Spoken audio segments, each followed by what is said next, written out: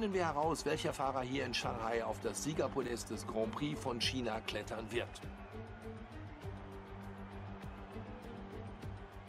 Hier in Shanghai beginnt jede Runde mit der berühmt-berüchtigten Schneckenkurve, aber auch die anderen 14 Kurven haben es in sich. Die 5,4 Kilometer lange Strecke ist sehr herausfordernd und die unglaublich lange Gerade bietet in jeder Runde die beste Überholmöglichkeit. Spitzengeschwindigkeiten von mehr als 320 km/h vor der Bremszone zur Kurve 14. Das heutige Rennen kommentiere ich auch jetzt wieder mit dem großartigen Stefan Römer. Vielleicht sollten wir uns zum Einstieg über Max Verstappen unterhalten. Das wird heute keinesfalls leicht für Sie. Wegen einer Strafe aus dem letzten Rennen müssen Sie heute von einer sehr ungünstigen Position aus starten. Ja sicher, das ist keine der Positionen, von denen du zu Beginn eines Grand Prix starten willst. Bei so einem Platz müssen Sie mit reichlich Verkehr rechnen. Aber wir wissen auch, dass Sie mehr Tempo als die Teams um Sie herum haben. Daher gehe ich davon aus, dass Sie innerhalb der ersten Runden einiges aufholen werden. Gehen wir die Startaufstellung der Fahrer für das aufregende Rennen von heute durch. Kevin Magnussen startet von der Pole Position und daneben steht Sebastian Vettel. Und die übrige Startaufstellung ist wie folgt. Bottas, Sainz Junior, Richter, wegen einer früheren Gridstrafe wird er von weiter hinten starten und Ricardo, Norris, Raikönen, Perez und Max Verstappen. Hamilton, Hülkenberg, Alexander Albon und Gasly Giovinazzi, Butler, George Russell und Charles Leclerc. Stroll und Lukas Weber vervollständigt die Startaufstellung. Und jetzt, wo die Vorbereitungen fast abgeschlossen sind, wird es Zeit, zur Strecke zu schalten.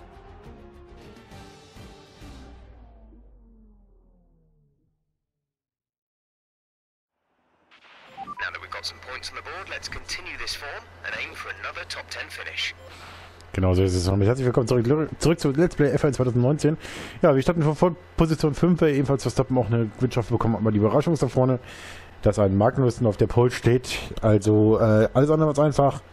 Und wir müssen jetzt uns nochmal strecken. Ist nicht ganz einfach da vorne. Launch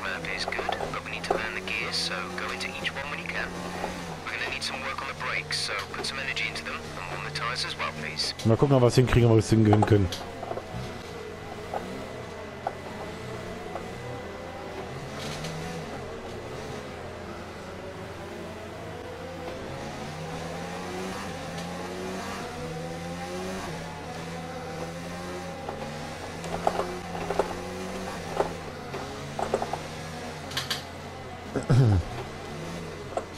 Gut, unser Teamkollege steht auf 2, also hoffentlich kriegt er relativ möglich äh, schnell den Platz an vorne.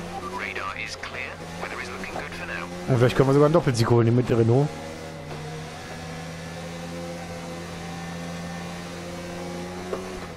Mal schauen. Das Rennen wird definitiv alles anders einfach werden. Aber nicht unmöglich.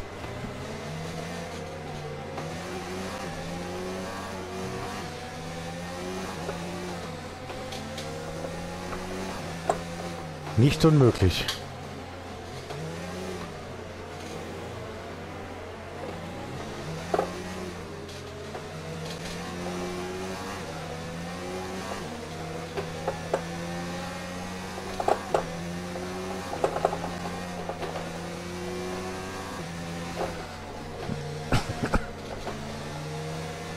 Also eine Runde hatte ich am Rennen gehabt, das war leider jetzt ein bisschen zu.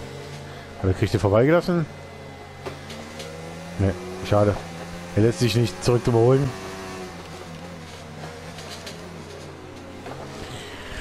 Naja, mal gucken.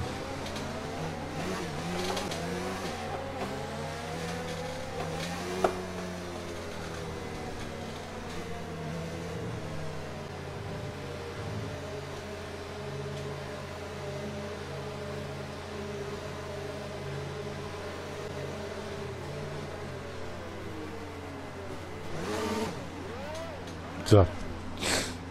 Keep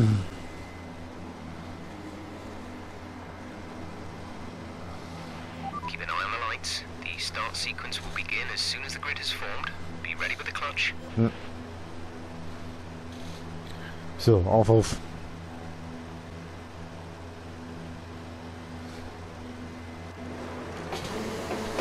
Gucken wir, dass die Ferrari auf einmal ganz hinten stehen, aber das soll nicht unser Problem sein jetzt.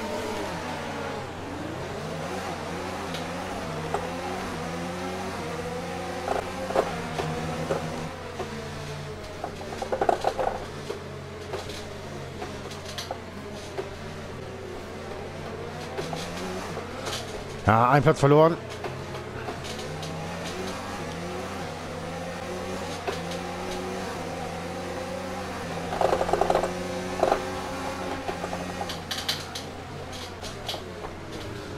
Aber den hole ich mir wieder zurück.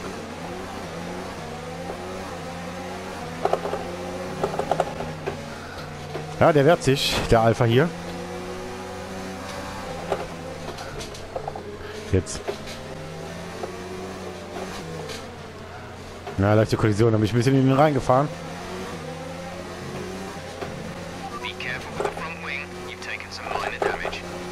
Ja, der Flügel kaputt.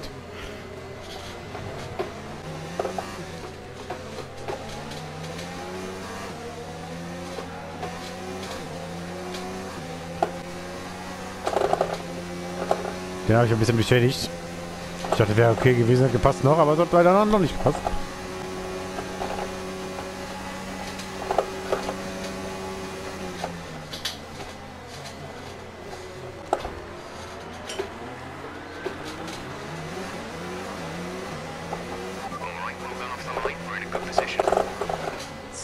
Vorbei schon an Science.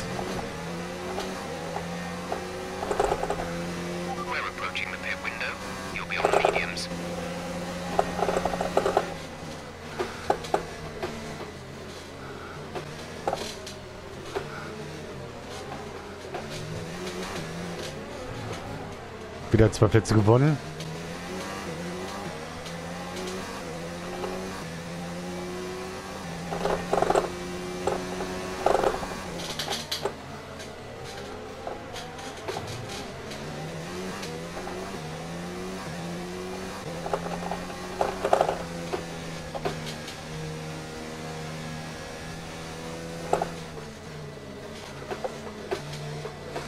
Jetzt mal wieder ein bisschen rankommen. Das ist Dreiergrüppchen da vorne.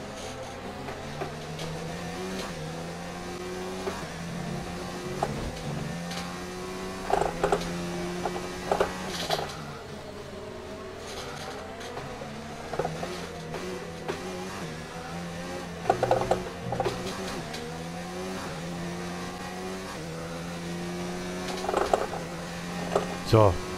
Vettel will jetzt, glaube ich, gleich Magnussen angreifen. Sehr gut, wie gesagt, Doppelsieg wäre sowas von wertvoll.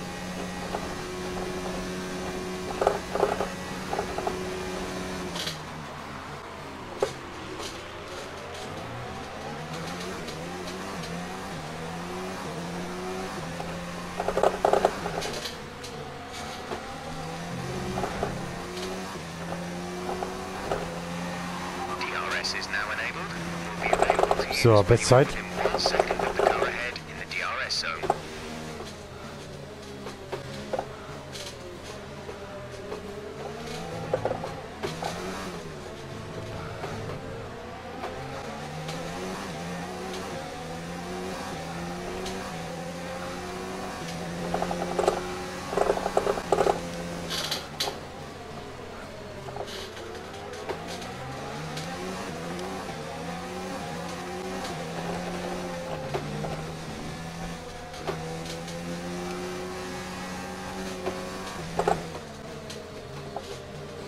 Ah, leider müssen wir den Boxes Flügelwechsel machen.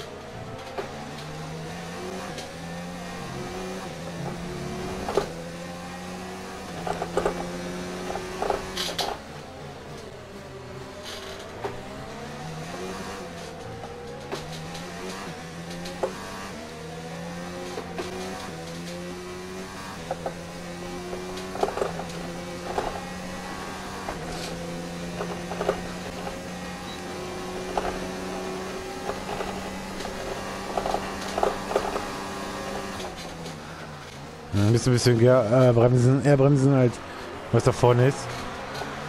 Komm, Vettel, hol ihn dir.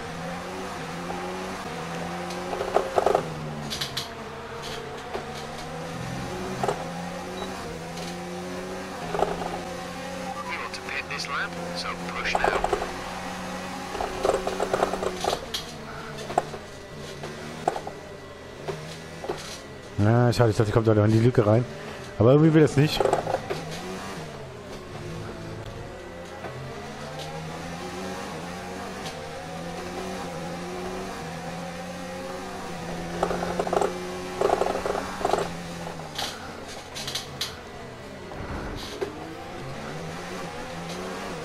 Ersten habe ich.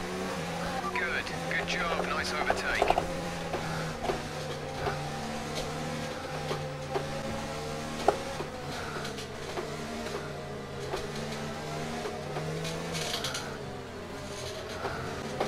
So, jetzt muss ich gucken, dass ich da an dem an den zweiten vorbeikomme.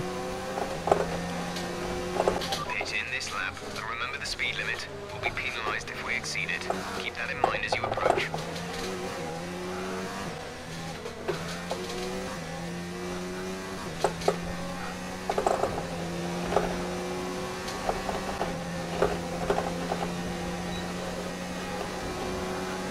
Stückchen auf.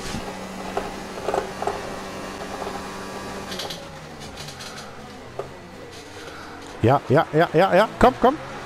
Ja, der Haas ist, äh, der, der Wrestling Point ist, ist gar nicht mal so schlecht auf der Geraden. Magnussen's taken the lead.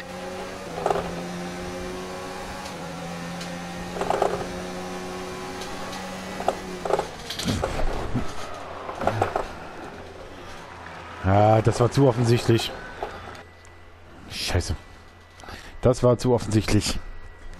Oder zu optimistisch, so ist es richtig.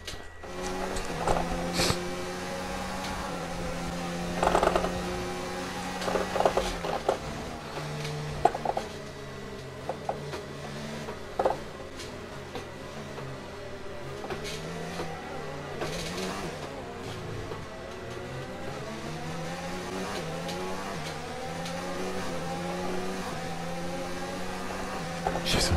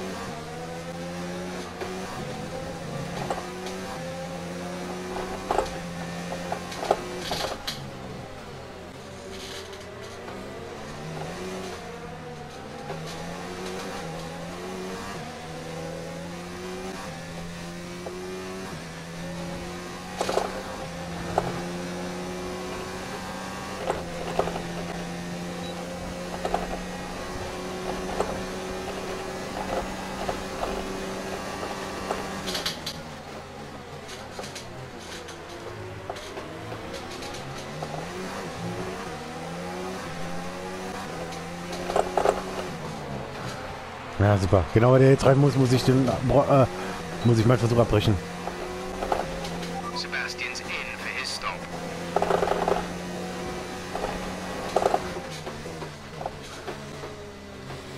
Mo.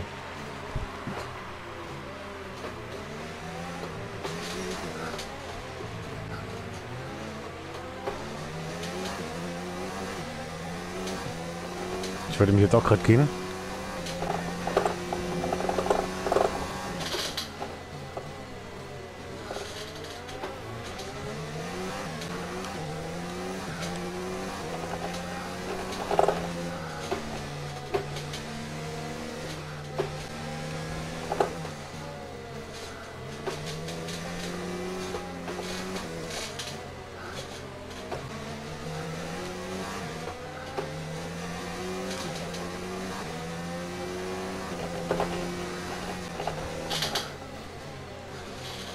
Oder wir wechseln einfach nicht, riskieren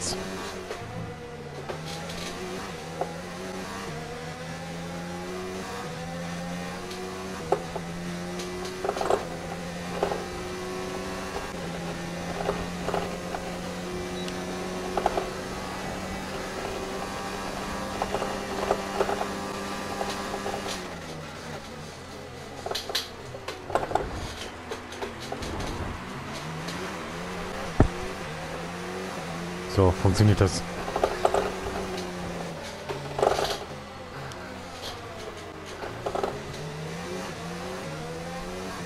So, die Frage ist, ob das reicht für die Führung.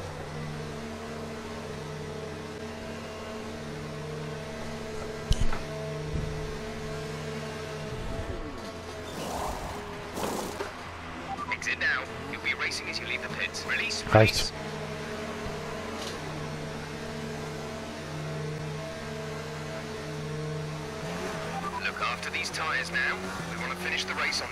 Yes, Doppelführung, passt.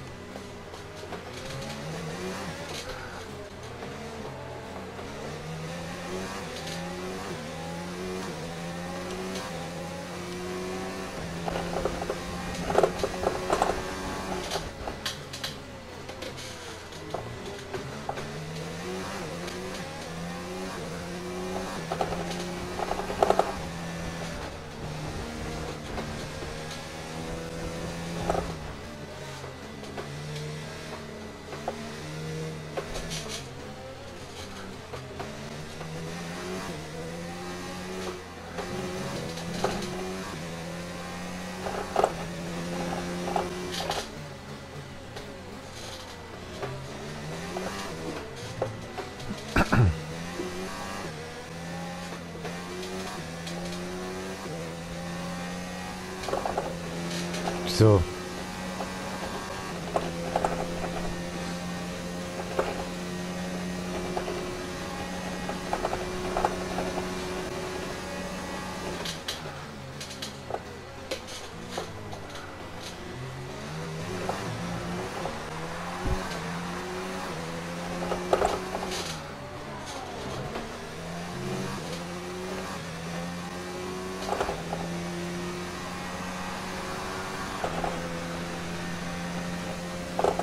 Sechs Runden haben wir noch.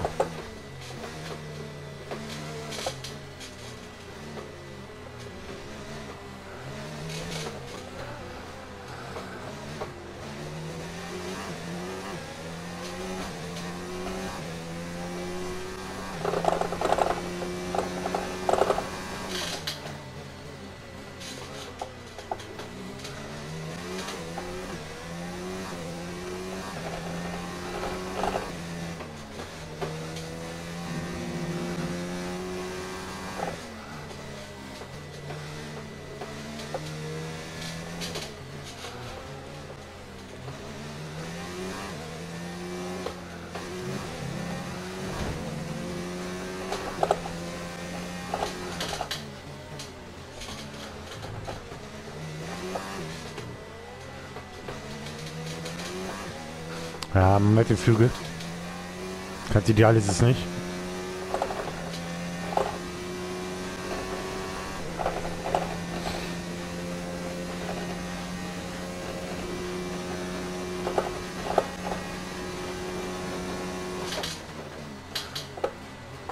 Oh, Gasausfall. Green flag.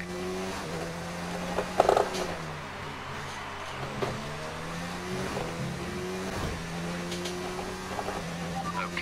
some Magnussen. information on Magnussen. They are out of the race. Ja, ist das bitter für ihn. Lange Zeit Reserve angeführt und dann jetzt auf der Auswahl.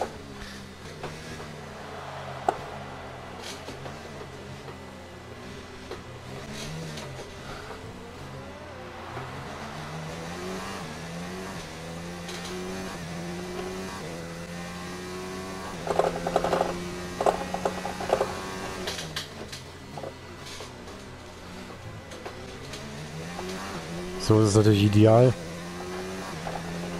Volle Punktzahl vielleicht.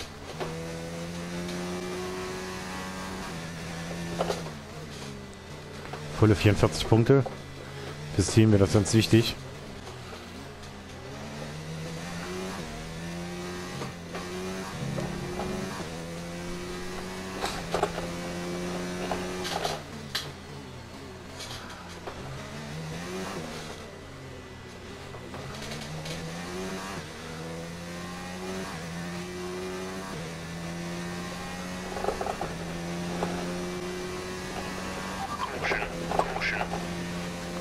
So, Achtung, da könnte das Auto noch stehen.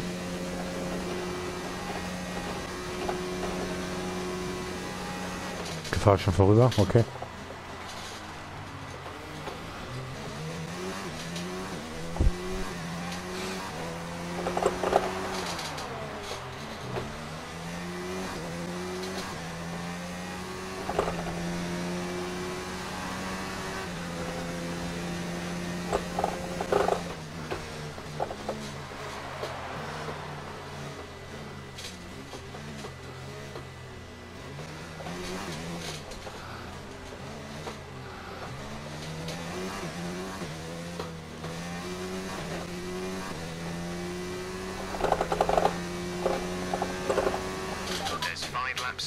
remaining. Ja, denn mit dem Sprit, das kriege ich hin.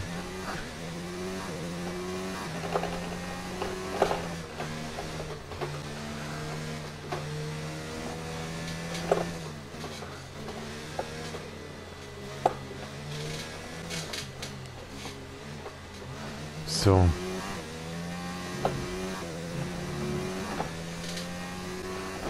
So, uns gut absetzen.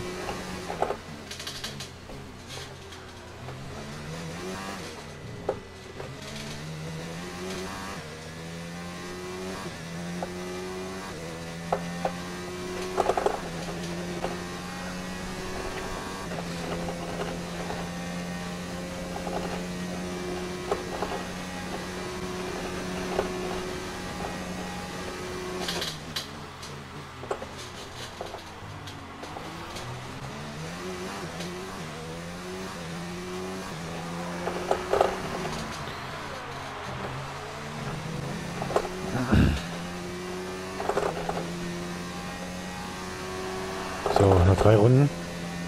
Dann sind wir durch.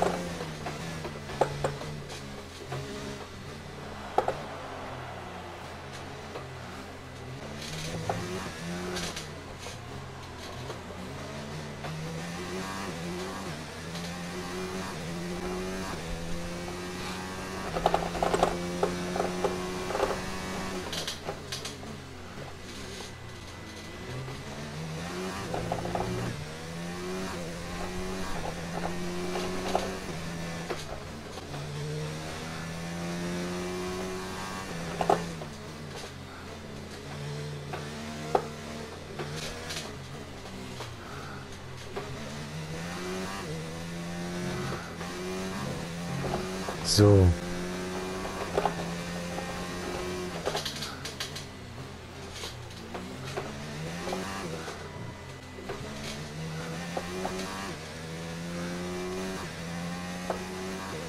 you.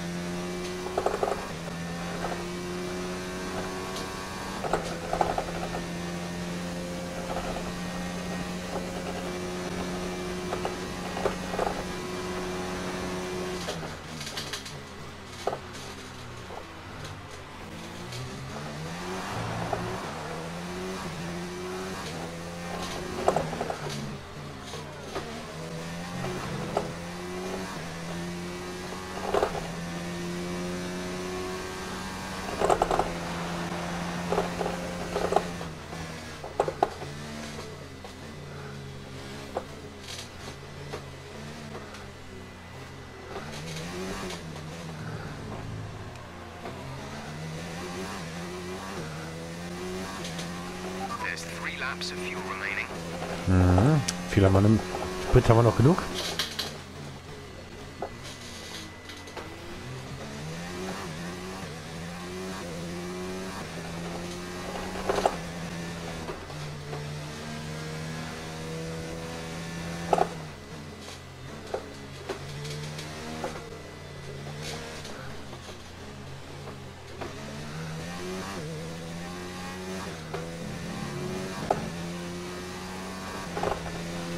So.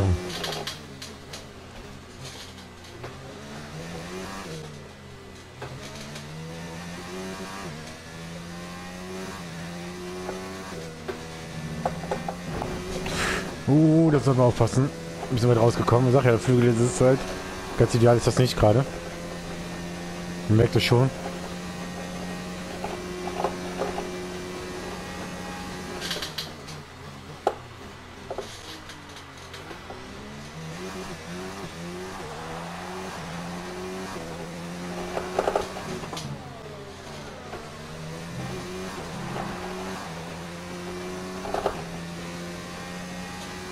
So, vorletzte Runde. Dann haben wir es. Dann haben wir den zweiten Saisonsieg.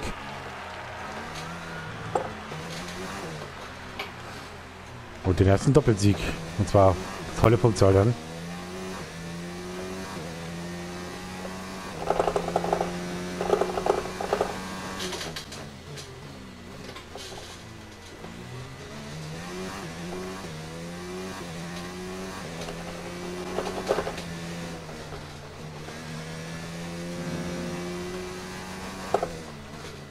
Wir hatten volle Punktzahl fürs Team, nämlich 44.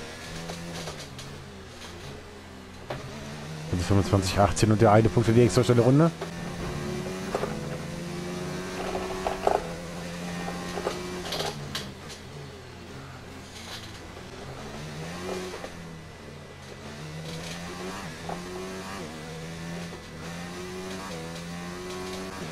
So, letzte Runde gleich.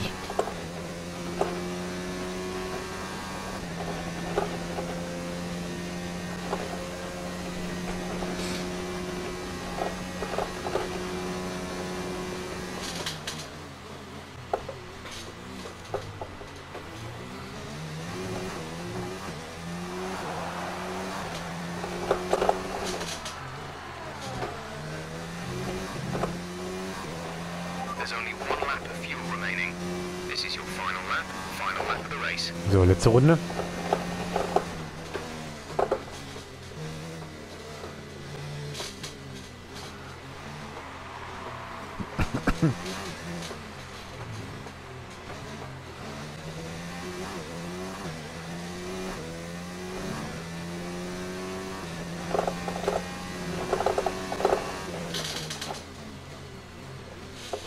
Letzte Runde.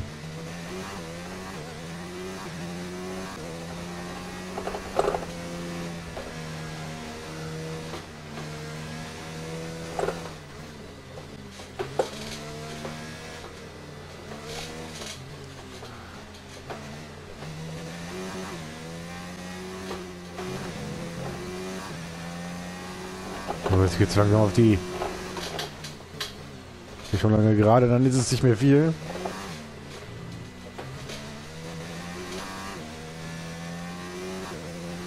Ach komm, ein Sekunden Vorsprung. Wird eigentlich ohne Probleme reichen.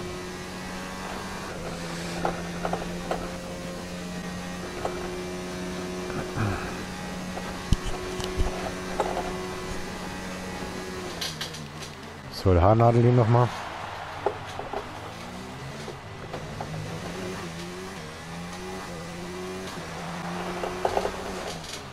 Letzte Kurve. Und dann haben wir eine zweite Saisonsieg. Yes! That's a race win and your second race win in a row. Fantastic job.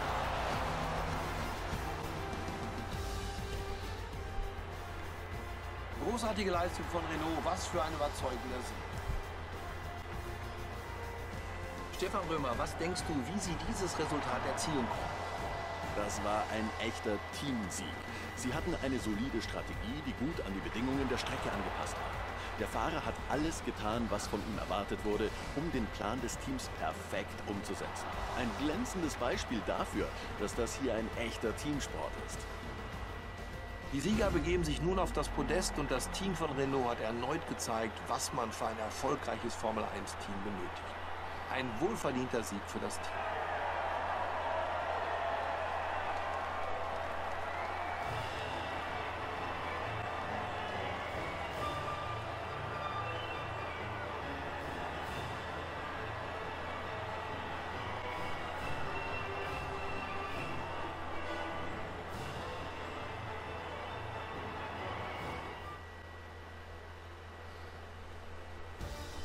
Werfen wir einen Blick auf die Fahrerrangliste. Richter vergrößert den Vorsprung in der Weltmeisterschaft. Wir haben heute einige beeindruckende Talente auf der Strecke gesehen. Stefan, aber wer ist für dich der Fahrer des Tages? Für mich ist das Lukas Weber. Cool, gelassen, gefasst. Eine sehr beständige Leistung, auf die er heute stolz sein kann. Kommen wir zu den Konstrukteuren. Die Führung von Renault an der Tabellenspitze wird immer größer. In der Zwischenzeit kann Toro Rosso mit einem starken Wochenende weiteren Boden in der Rangliste gut machen. Ich bin gleichermaßen erschöpft und aufgedreht nach diesem Formel 1 Wochenende.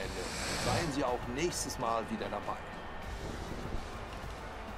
Jo.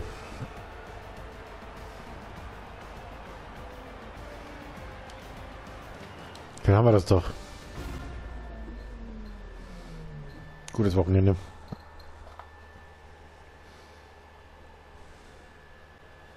Großartige Leistung da draußen. Ich nehme an, Sie sind recht zufrieden damit. Ja. Sie haben ja während des Rennens eine regelrechte Aufholjagd hingelegt. Sie übertreffen alle Erwartungen, die man an Sie gestellt hat. Kann Sie noch irgendetwas auf... Heute gab es so einige Zusammenstöße, nicht wahr? So. Lucas ist in diesem Rennen durch das Feld geflogen. Was ist sein Geheimnis? Danke für den Kommentar. So, dann haben wir das auch. Nächstes Rennen müsste jetzt ähm, Baku sein, glaube ich. Aserbaidschan, ja.